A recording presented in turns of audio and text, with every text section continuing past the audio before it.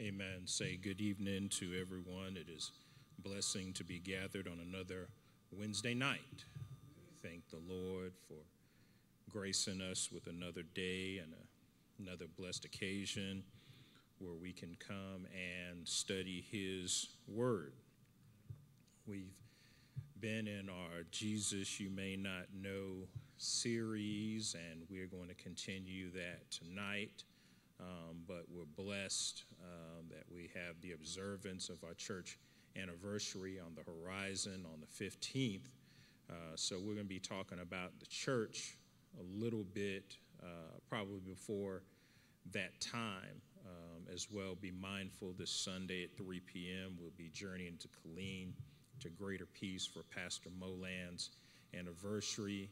Remember, on the 14th, Brother Price and Divine Messengers will be celebrating their 21st anniversary. I believe this is the last week you can see him for tickets. So, a few things going on the calendar, and of course, we want to continue to pray for our sick members and those recovering from surgery, as well as the bereaved families. But in this Jesus You May Not Know series, we've been kind of trying to introduce Jesus from a lot of different angles. So if somebody should happen to ask you about your faith, you'll be able to share with them uh, about Jesus, not about religion, um, not about theology per se, but actually Jesus and the relationship that you can have with Him. Um, much as God's perfect will is that none should perish, but that all would come to repentance it should be that for as many as we can share, we recognize that the harvest is plentiful, but the laborers are few. And what people need in these day and this day and age, I believe more than anything else, is hope. And I believe that hope is best expressed um, when you, you offer to somebody personally, not an empty promise of like a political uh, congressman or a political pundit or somebody running for office or somebody running for acclamation and attribution, but legitimate hope. And that's really only found in Jesus Christ. And the more that you know about him, not from a historical standpoint, not from somebody else's opinion, but you know yourself, then uh, my belief is better you can share him with somebody else, and then the better that you know him, better we can grow in our relationship with him. But this last one that we deal with here in this Bible study um, really speaks to who Jesus is, but different than some other occasions where we've dealt with this, uh, speaks to who he's not. And I think uh, the understanding of Jesus and his person, his personality, and, and, and what he tried to bring across through his life and his lifetime sometimes is missed because people will say, well, that's who Jesus is. But you also need to say who he's who he's not. I can remember I, I was, um, and just this is the way my checking account is set up, so don't judge, but I was making some Kool-Aid at the at the house and and I was gonna make it the strawberry lemonade Kool-Aid. So I had strawberries I had the mixed packs of the, the red and the almost red Kool Aid, and I'm mixing it in there, and it looked that kind of pinkish yellow cover color. And I had the lemons, and I had the lemons in there, and it's good. And then I, I chilled it, and I said, Man, whenever this is ready, man, this is going to be good. And I went to taste it, and the sourest thing I ever tasted. I didn't put any sugar in there. So, for what I intended for it to be, it wasn't because it lacked, it didn't have, it didn't have sugar. And so, for as, as much as my design and desire for the end product was to be something, it wasn't because it lacked something that would make it what it was. Well, think about that a little bit as we're going through this study tonight. The Jesus you may not know offering forgiveness from the cross. And we reference this in Luke, the 23rd chapter, 34th verse. We're going to concentrate really on just one verse. If you read uh, throughout that entire chapter, you'll get the whole picture. But in the King James Version, it said, Then said Jesus, Father, forgive them, for they know not what they do. And they parted his raiment and cast lots. NIV says, Jesus said, Father, forgive them, for they do not know what they are doing. And they divided up his clothes by casting lots. Now, see this from the Amplified Version in verses 34 and 35. And Jesus was saying, Father, forgive them. They do not know what they are doing, and they cast lots, dividing his clothes amongst themselves. Notice they dividing the clothes. That was prophesied that would happen. Now the people stood by watching, but even the rulers ridiculed and sneered at him, saying, He saved others from death. Let him save himself. If he is the Christ, the Messiah, the anointed of God, his chosen one. Very distinctly in verse 34, we find out Jesus said, Father, forgive them, for they do not know what they're doing. Here's the juxtaposition of everything they knew exactly what they thought they were doing. But that's not what Jesus said. He said, Forgive them, they, they don't know what they're, they're doing. This, this, this crucifixion of Christ would stain Romans, it would stain Jews, it would stain Christians, everything that happened. It stains Christians because they're saying if they were there, they should, even they were their first called Christians at Antioch, it said that they should have done something because this was wrong. The Jews were wrong because they asked the Romans to carry it out. The Romans were wrong because they carried it out. A lot of wrong there, but Jesus is saying, forgive, forgive them.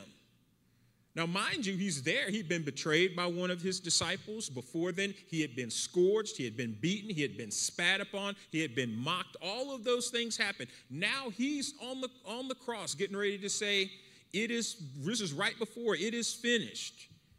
And he's having a conversation with his father, who's not going to be able to look on the sin that's imputed, placed on his son, saying, Forgive them because they don't they know not what they're doing. And again, I've said this before, and again, being very honest, plain speaking, uh, that's a lot of forgiveness. You know, that, that's, that's a little bit more than, you know, hey, I, I burnt the toast, or hey, I burnt the barbecue. That's a little bit more. Will you forgive me? That's a little bit more. I'm sorry. I raised raised my voice and I yelled and I hollered and I, I, I, I that's a lot more than I'm not saying measure forgiveness because we've been, been called to forgive and to ask for forgiveness, but in the midst of what's going on with people intentionally trying to hurt and kill you because you are the Christ. And again, think about this. The reason why we, we had 35 come from the Amplified Version, because when you go deeper into the language, they were mocking him for who he was. When he's placed on the cross, they place an inscription above his head saying that he was king of he was king of the Jews. So somewhere somebody believed that he thought that's who he was. So they mocked him, right? Hmm, very interesting. Now we get here and they're saying, well, save yourself if you be the Christ if you be the Messiah, if you be the anointed one, save yourself. He already had asked for forgiveness. Again, we get into the Jesus you may not know. He's, he's, he's stretched wide, hands, uh, nails in his hand, nails in his feet, crown of thorns on his, on his head. He's being asphyxiated from the inside out through the process of, of, of crucifixion, and he's asking for forgiveness for people who don't want to be forgiven. So, what they knew, not what they were doing, they understood the process of crucifixion. They understood the process of malefactors. Jesus was betrayed in between two of those, two thieves on the cross. They understood everything that it took to get to this point, but they didn't understand forgiveness. Because who does it say parted his clothes? Said it was some soldiers, right? One of the most poignant scriptures, and we won't get into this tonight, so we won't be here all night, is the centurion looked and said, Surely this must have been Oh, uh, uh, hold on now. Verse 35 Now the people stood by watching, but even the rulers ridiculed and sneered at him, saying, He saved others from death. I'm talking about Lazarus. Let him save himself if he is the Christ, the Messiah, the anointed of God, his chosen one. Now, I, Jesus encompasses a lot when you say just that name, but uh, Christ, Messiah, anointed, Son of God, chosen one, that gets that gets that gets Jesus kind of encapsulated. That were their words that they spoke about them. And so when Jesus asking for forgiveness, the, the cross was necessary for our salvation, but them playing a hand in it wasn't necessary for them. Let's go a little bit deeper on that thought. Jesus came from heaven. He was so named because he would save his people from their sins. Everything that he did to announce that he was the Christ, that announced that the promise would be fulfilled. The lame walking, the blind receiving their sight, the deaf hearing, uh, the, the gospel being preached to the poor, all of those, the dumb talking, all those things that would announce him prophetically as the answer to the promise, he was. But for him to be Jesus, he had to die on the cross. So when the Lord's intention in the midst of the triune and tri- triunity of, of the Godhead had Jesus to come as the incarnation, God becoming fleshed amongst men to die as God, fully man, fully holy. And he was the only one that could die because save best another man could do would be to die for himself, but he's dying for all of humanity. So for him to come, the necessity was for him to be on that cross. That's why he came. And he needed to die on that cross. But the blessing is he got up. So he had power over this, over, over life and death. Oh, grave, where's our victory? Oh, death, where's that sting? That's where we go there, right? But now understand this when he's asking his father to forgive them, the Godhead is speaking in forgiveness. This isn't an absolute to send all of them who killed Jesus to hell with the absence of forgiveness. You'd probably say, somebody killed the Lord, you know, hell would be a nice abode for them. Well, let's talk about that. Sometimes we place, there's only one sin for which there's not forgiveness, and that's blaspheming against the Holy Spirit. So you can be forgiven for crucifying Jesus. And how do we know this? Father, forgive them, for they don't know what they're doing. A lot of sins that need to be forgiven really are in the in the ignorance realm when I didn't know Jesus, there's some stuff that I, I did I didn't understand. I didn't know to do better. But then, so I don't get so high and mighty on the other side of salvation, I got to understand there's some things I've done since I've been saved that disappoint and prick the very heart of the Lord. And because He stays there weighing in forgiveness, then I don't get what I deserve. So he came so that hell wouldn't be my home, but he also came that sometimes grace and mercy may buffet what I deserve in the midst of me not living up to my spirituality and my discipleship. So sometimes people don't know Jesus like that. They don't know that he stands there and his desire is to extend forgiveness. Again, 1 John 1 and 9 that knowing that he is faithful and just to forgive. That's who he is. For as much as God is love, the blessing is God is forgiveness. Because also remember, you know, some people's favorite verse in the Bible: "Vengeance is mine, saith the Lord." So people love the Lord to act in and vengeance, but understand this sin is enmity against God. Sin causes the relationship between God, of which Jesus is a part of the Godhead, to be strained. Much as a relationship with me would be affected if every time that I saw you, I came up and hit you in the middle of your forehead. We're not going to have as great a relationship if I do that every time that I see you. So, for as much as when we sin and we and we come short and we transgress the way and will of God, the, the blessing is He stands there saying, Father, forgive them. Now, again, old preacher said, Father, forgive them, for they know what they do.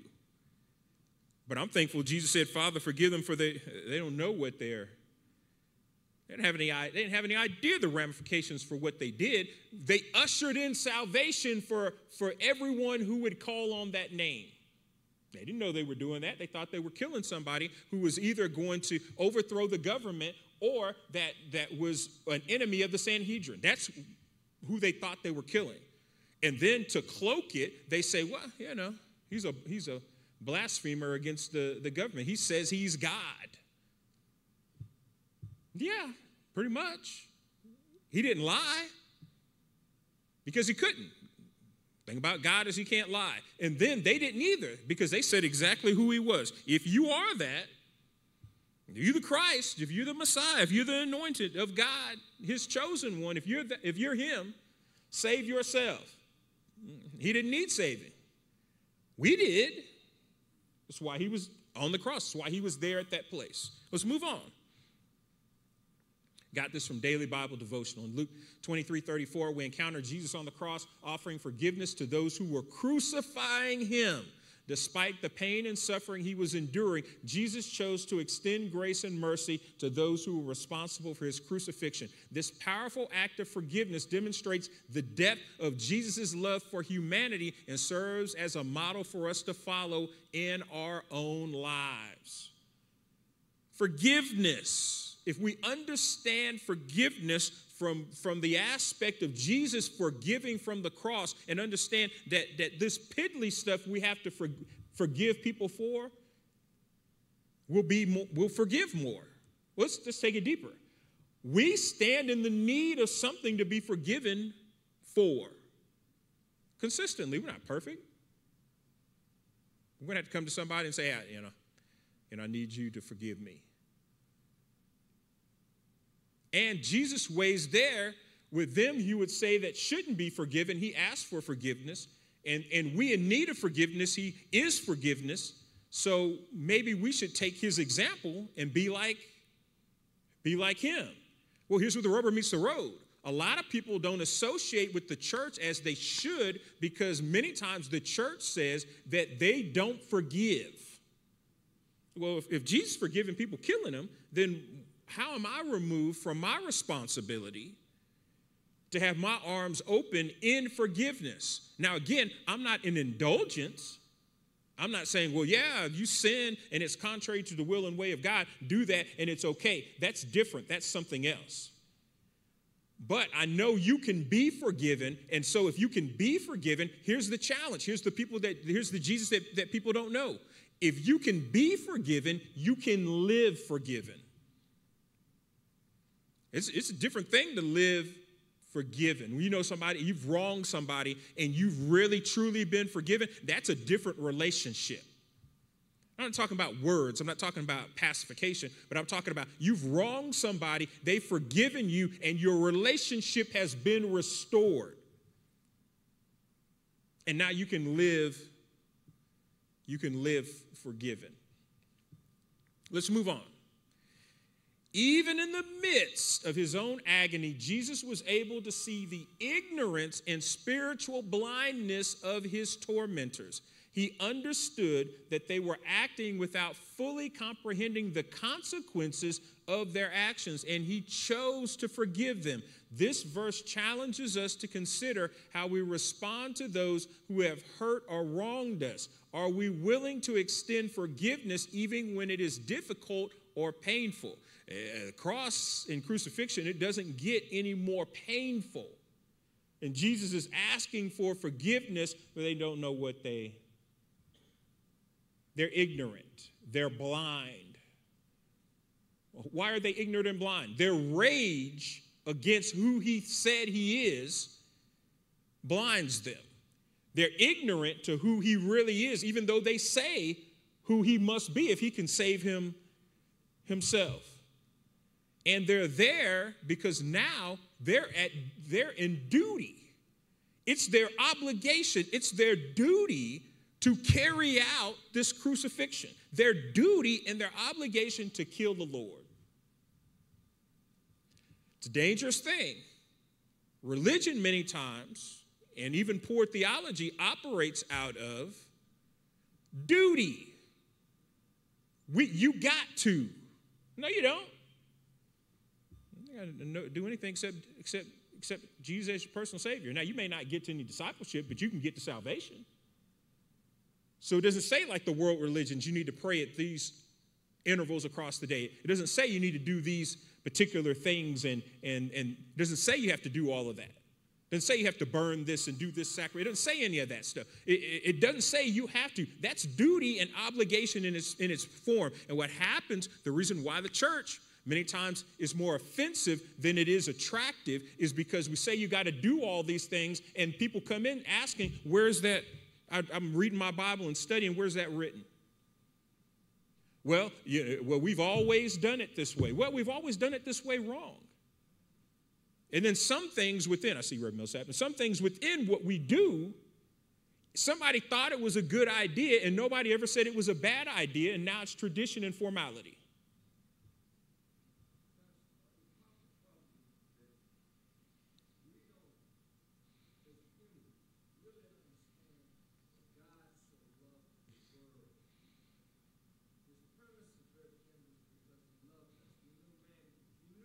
Needed something.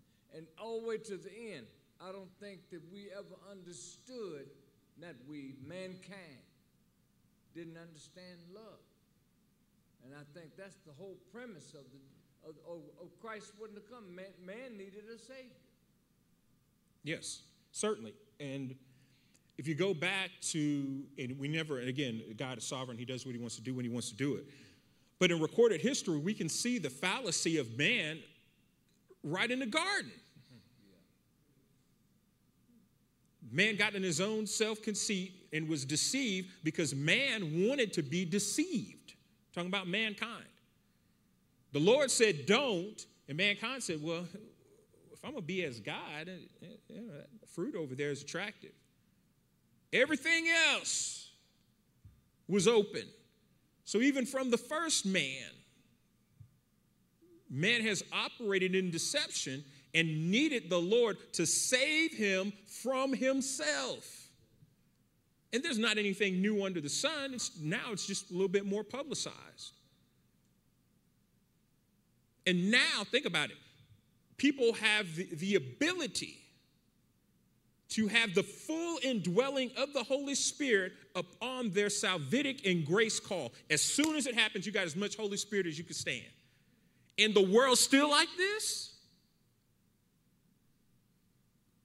But man has always fallen into a pattern of not recognizing the necessity and for, for not only the Lord's love, but for his, for his salvation.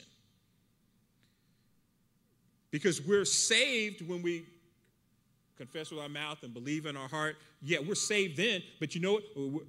Peter said, Lord, save me, and he was already part of the And sometimes I, Lord, I need you to save me from myself. I need you to save me from circumstance. I need you. And then here, now we live in this age, everybody talking about deliverance. Everybody's not delivered. Sometimes the, the Lord is just with you enough so that, that, that what would, would keep you undelivered doesn't take you over. But if everybody's delivered, then what happens if you're not delivered? You fall back in the same pattern. But if I've got if I, if I got mercy and grace, and the Lord trying to help trying to help me, let me say this and see if this says sounds good. The Lord trying to help me to not be me. David said, I, I was born in sin and shapen in iniquity. That's who I am. But the same David who had blood on his hands for as many bodies that he had killed for, for, for, for, for the nation was a man after God's own heart. What? Same David that had Uriah killed and, and got sons by Bathsheba? Yeah, same David. The possibility is because of who God is. The possibility is because of who Jesus is. If we write, think about it, if we wrote the story of some of the them that are in Hebrews 11, if we wrote some of them throughout the, the historicity of the Bible, and we say, would you use this person as, as an example to follow? By human standards, most of the time, no. Think about all those Pauline epistles. It, before the Damascus Road, man, Paul was hell on the church intentionally. Then the Lord changed him. Now, let's talk about that. Man, the church got a big problem with folks changing. Here's, here's the thing we're supposed to be agents of hope, agents of change, but we always are skeptical of somebody who's lost is going to ever change. I'm going to say this I, I had to guilt myself. I remember a gentleman, and you know, names would be removed to protect the innocent, and was accused of smoking dope with his son while his son was in school. That's what they did. The Lord changed him. Now he's a deacon somebody's church. I bump into him at a whole church conference. I wasn't expecting to see him there. Why was I surprised he was there? The Lord can put the beer down, put the put the weed down. The, the Lord can change. You know how I know it? Change me. I don't know who I was talking to. And I was like, man, they're trying to figure out, man, what? Man, I kicked out of second grade and, and, it was promised to get kicked out of another second grade, and they were trying to make a decision if they had to send me back to the first second grade. Second grade! Seven years, seven, eight years old. They're like, what is going on? Who is this? Whose kid is this? Let me break. I had both my parents at home at the time. We're middle class. But I didn't have Jesus in my life, so I was acting as if I just was young in doing it. Some people get, get older and more mature in their sin. I was young in mine, but I needed deliverance from there. And that's who Jesus is. So even in the midst of this situation on the cross, Father, forgive them. They don't know what they. Well, now I can understand that better because when I was in the midst of my midst, he was standing there with arms outstretched. Sometimes, if, if, if we communicate that Jesus had his arms outstretched for us, then somebody else will find him the same way. Let's move on. Time to reflect. As we reflect on Luke 23 34, we can apply the following principles to our lives. Recognize that forgiveness is a powerful expression of God's love and grace, and strive to extend that forgiveness to others, even when it is difficult. Seek to understand the perspectives and experiences of those who have hurt or wronged us and be willing to offer grace and forgiveness even when they may not fully understand the impact of their actions. That's a tough one. Our responsibility is to forgive, but you're forgiving somebody that doesn't know that you're forgiving them. And then you have the worry, well, I'm going to have to deal with this again. Well, well, Jesus does that. If he's faithful and just to forgive as much as we ask, shouldn't we be faithful and just to forgive? Oh, yeah, that, that's. Hmm. Remember that Jesus' forgiveness extends to us as well and gratefully accept his grace and mercy in our own lives. What burdens a lot of people is they won't forgive themselves. I can't believe I did. Well, guess what? Sin is common to man. So there's nothing new under the sun, and there's probably nothing new under your sun either. So accept his grace and mercy. Allow Jesus' example of forgiveness to influence our own relationships and interactions, striving to be a source of grace and love to those around us. Be willing to forgive. I'm in a, in a study right now of, of, of that really an attack of the enemy is to keep us bound up with a bunch of strife and contrition, and it all is the root of it is unforgiveness. Turn to God for strength and guidance in the process of forgiving others, trusting that He can help us overcome our own pain and bitterness. On the other side of forgiveness is a lot of pain and bitterness. Hurt people hurt people. And that's just not out there outside the four walls of the church. Well, how may we accomplish this? We can always pray. Prayer of the day. Heavenly Father, we thank you for the incredible example of forgiveness demonstrated by Jesus on the cross. We are humbled by your unconditional love and mercy towards us, even in the, our moments of ignorance and sin. Help us to embrace your forgiveness in our own lives and to extend the same forgiveness to others even when it is difficult. Lord, grant us the strength and wisdom to see beyond our own pain and understand the perspectives of those who have hurt us. Empower us to be conduits of your grace, offering forgiveness and healing to those around us. May our lives reflect your love and mercy, drawing others close to you. You pray that prayer, it's some pain and bitterness that can't be present. It's some hurts that will resolve. It's some forgiveness that will be extended. It'll be some grace and mercy that are understood.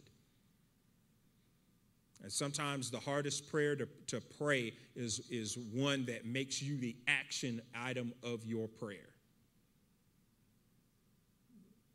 Just like we used to sing, when I'm saying we, because I even used to sing back then. It's me, it's me, it's me, oh Lord, standing in the need of prayer. Then you have to, there's another verse, it's not in there, but it's, it's, it's uh, close to it. It's me, it's me, it's me, oh Lord, standing as the answer to this prayer. We're talking about it, but I got to be about it. Because that which is accomplished by the Lord, many times we're the, we talk about being the hands and feet of God, being his representative. Sometimes it's being the answer for our own prayer. Let's move on. Strengthen in faith. Considering Luke 23 34, take these action steps to practice forgiveness and grow in grace. Reflect on areas in your life where you may need to extend forgiveness to others and ask God for the strength and courage to do so. It's not going to be easy. That's why you're asking for strength and courage when you do so. Meditate on the forgiveness that Jesus offers you and gratefully accept his grace and mercy in your own life. You can't ask somebody else to accept it if you're not accepting it. Number three, share your experiences of extending or receiving forgiveness with others, offering encouragement and hope to those who may be struggling with this aspect of their faith journey. Talk to other people about forgiveness when you forgave and when somebody else forgave you. And you know what's a tough thing? When you have to tell people about when somebody else forgave you. Because sometimes it's easier to talk about when you had to forgive somebody else, but it's, it's tough when it's when you're the and, and then let's talk, let's talk about this. Longer you live in life, there's somebody that you probably have forgotten you need to ask forgiveness from. You got more life. You're older, you got more years, you got more months, you got more weeks, you got more days, you got more decades. But if you, th- if you think real hard, probably somebody is saying, Yeah, man, would you, man, forgive me. I, I, I, wasn't, I wasn't who the Lord intended me to be. But I'm, I'm trying to be better on that now. My conversation's different, my walk's different. I've grown in the grace and knowledge of my Lord and Savior Jesus Christ. Here's who I am now. Who I was then is not who I am now, even though that was me. I'm not a clone of, of, of, of, who that person is. That, that's still me, but that activity and that behavior is not me. I'm trying to, to go beyond that. And then I may disappoint you again, but, but now where my heart is, that's not my intention. Back then, uh, you know, sometimes people, people, people caught some some tough ones from having to deal with us and having associations with us because we didn't understand forgiveness and we didn't understand grace and we didn't understand mercy. So when you act as as as if those aren't a part of your life, they'll show up that you're not acting that way. And I'm guilty for making some relationships casual that shouldn't have been. Some other people had intention, more intention than I had intention. Well, I, I find out about that more often than I should. But you know what? Got to own it. In the immaturity of my youth, that's who I was. Thankful I'm not, I'm, I'm not everything I'm, I'm yet going to be, but I'm thankful I'm not that. But if I hadn't talked to you in 30 years, you probably got a different opinion. And I'm not as old as some of y'all, so my 30 years, you're 10, 20 years, you're 40 years, you're and nobody's from here. You go back home, some people have got some different opinions. So that's why you don't stay there. I'm just saying what I'm saying. Copperas Cove Killeen ain't that nice. Some, some of y'all from some nicer places, but they ain't gonna open out the welcoming mat. The you who you were then, we're thankful that it's not the you you are now, but uh, you're, not, you're not trying to have everybody to remind you. You remember when? Man, I'm thankful, man, when I was a devil, I was young. thankful for people in my elementary school. I'm just talking about me. I hadn't run into any of them. Thankful I remember a lot of people from sixth grade. I was saved by then. And I bump into them all the time. I was like, man, if you'd have met me before I moved here, boy, I was a piece of work. Just talking about me, right? No, you too. You just not, you just don't have the microphone. Let's move on. Today's today's wisdom.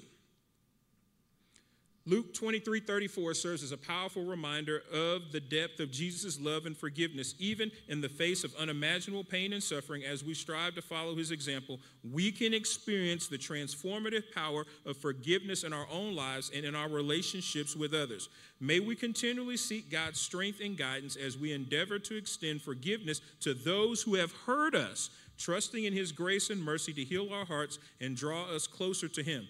As we embrace Jesus' forgiveness and seek to share it with others, may we be a source of hope, healing, and reconciliation in a broken world. Let our lives serve as a testament to the power of God's love and grace, inspiring others to seek his forgiveness and experience the freedom and peace that only he can provide. Some people will meet Jesus when we act like Jesus. Christ like character brings Christ like associations. So if I understand that I'm forgiven and I forgive, if I understand that I've received grace and mercy and I extend it, that's different than what most people receive. And some people have some hard lives just from the people that they run into. And wouldn't it be better if they didn't run into somebody uh, full of vitriol and hate that's supposed to be associated with the, the church that Jesus died for? Let's go a little bit deeper talking about that forgiveness. Sometimes we may feel like we're the only one who forgives. The situation that troubled his disciples too. Peter came to him and said, Lord, how often shall my brother sin against me and I forgive him? Up to seven times? Jesus said unto him, I do not say to you up to seven times, but 70 times seven in Matthew 18. That's 490 times. It's a lot of forgiveness. Seven is, you got enough hands for that. 490, that's more than fingers and toes and everything else. And then if you have to keep count, you haven't really. So then we talk about our interpersonal relationships, close relationships amongst our family, marriages, and whatever else. If you got to count how often you forgive or remind somebody of when you forgave, you're not really forgiven. Because when the Lord took our sin, He placed it in a place called the Sea of Forgiveness. Now, the Sea of Galilee, I could probably find, but the Sea of Forgiveness, I'm thankful the Lord finds. Here's one thing we've got to rash and wrap our heads around the words of Christ are not always easy to live by, but they must be observed. If, the, if Jesus says, Father, forgive them for they know not what they do, then we're going to have to say, Father, forgive them for they know what they do and what they don't know that they're doing. We've got to forgive on both. He forgave them in the midst of ignorance, hate, and a whole bunch of other things that they didn't even understand, but He forgave them. And here it is now. The reason why many times we don't act with a heart of forgiveness and Jesus is so hard to understand is we don't we don't want to forgive what we understand. We want to answer, well, why did they do this to me? Why did this happen to me? And why did this take place? And you spend so much time in the in the paralysis of analysis. Thank you, Joel Gregory, trying to figure out what is your responsibility. My responsibility is just forgive. It's not to, to be Perry Mason not to be Matlock trying to figure out and get to all, all sort through all the evidence. Nobody, the Lord never asked us to be judge and jury. He's asked us to be obedient. And obedience is better than, you know what else obedience is better than? Some of the other stuff that, that keeps us from obedience. We'll sacrifice our sanity, our sleep, our time, everything, our emotions just not being obedient. And then after it's all over with, then we want to be as obedient as we can because all that stuff that kept us up and wet our pillows and, and, and crushed our hearts and, and, and, and troubled our minds, we finally let it go. Now we're, now we're ready to, well, no, just start with obedience. Father, forgive them, for they know not what they're doing. He, he didn't wait till he was dead. He didn't say it at the resurrection. He said it in the midst of turmoil and torment, unspeakable pain. He's speaking forgiveness. And, and, and here it is. We, we've been nicked, not hurt, we've been nicked. And we'll operate with the absence of forgiveness. But we got to begin the process of forgiveness. We're closing on this. How do you begin the process of forgiveness? One, keep no list of wrongs. Pray for your antagonists rather than plot against them. Hate the wrong without hating wrongdoers. Turn your attention away from them for what they did to you to what Jesus did for you. And finally, as outrageous as it may seem, Jesus died for them too. If he thinks they're worth forgiving, they are. Forgiveness from the cross. If he can forgive from the cross, there's nowhere I can ever be where I cannot forgive. I got a cross to, to carry, I got a cross to bear, but I didn't have a cross to die on. And so, to truly understand this Jesus you may not know, understand if he can forgive from the cross, then instead of our minds wondering to, to how he did that, let our minds wonder, let, let our spiritual imaginations go to what else can he do?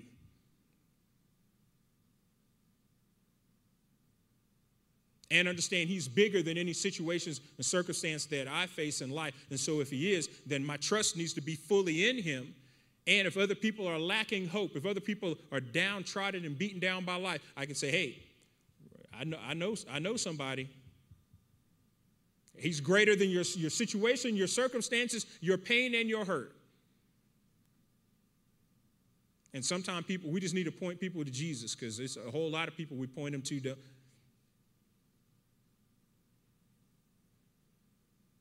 They fall out of favor, they fall out of vogue, but Jesus never does. So if anybody asks us, why, why, why do you believe? Why do you hope? Why, why, why, why do you have the confidence that you do? Jesus is the, is, the, is the hope of my salvation. He is my everything. Because when something comes up and rears it up, he's, he's bigger than that.